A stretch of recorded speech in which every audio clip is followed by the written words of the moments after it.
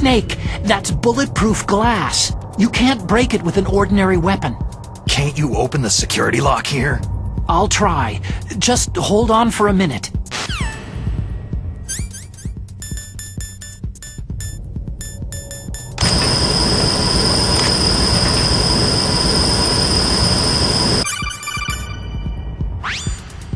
I hacked into security.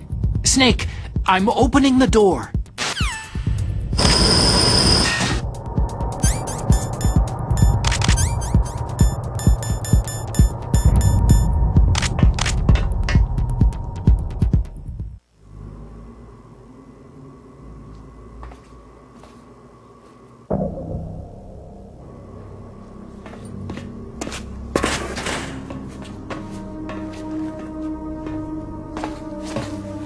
Liquid! Snake, did you like my sunglasses? Oh, you'd point a weapon at your own brother? Why did you disguise yourself as Master? So I could manipulate you more easily. You performed quite well, I must say. Although the boys at the Pentagon are probably saying the same thing. What the hell are you talking about? Following orders blindly, with no questions asked, you've lost your warrior's pride and become nothing more than a pawn, Snake. What? Stopping the nuclear launch, rescuing the hostages, it was all just a diversion. A diversion? The Pentagon only needed you to come into contact with us. That's what killed the Arms Tech president and decoy Octopus. You don't mean... That's right.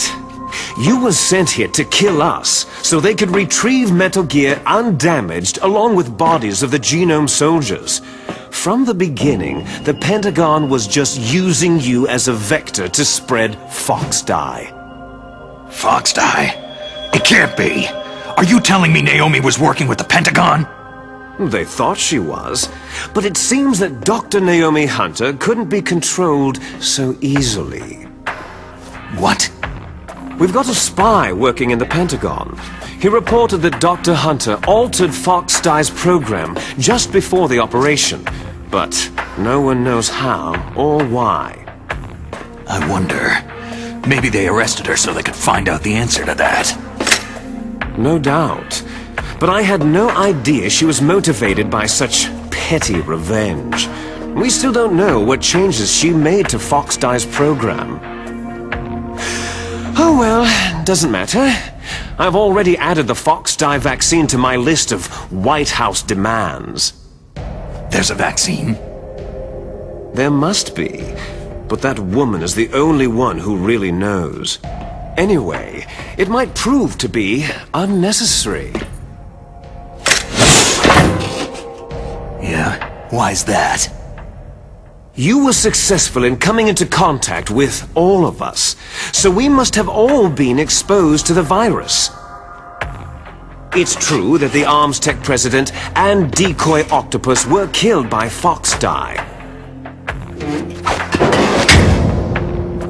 But Ocelot, myself, and you, the carrier, were apparently unaffected. A bug in the virus's programming? Hmm, could be.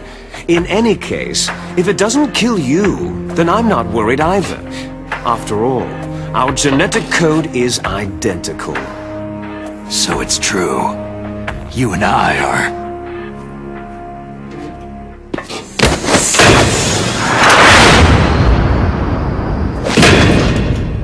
Yes, twins. But we're not ordinary twins. We're twins linked by cursed genes. Les enfants terribles. You're fine. You got all of the old man's dominant genes. I got all the flawed, recessive genes. Everything was done so that you would be the greatest of his children. The only reason I exist is so they could create you. So you're saying I'm the dominant one? That's right. I'm just the leftovers of what they used to make you. Can you understand what it's like to know that you're garbage since the day you were born? but I'm the one Father chose. So that's why you're so obsessed with Big Boss. Some warped kind of love. Ha! Love? It's hate.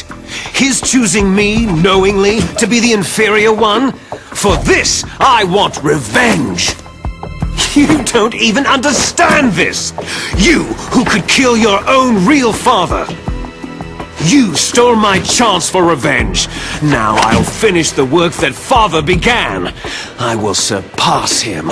I will destroy him! You're just like Naomi. Well, I'm not like you.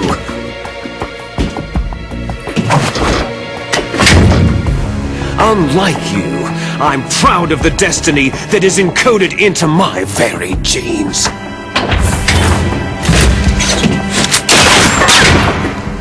You missed your last chance!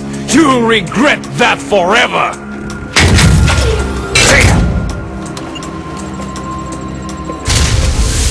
Snake! Come! Kneel down and sacrifice yourself to this historic weapon! Consider it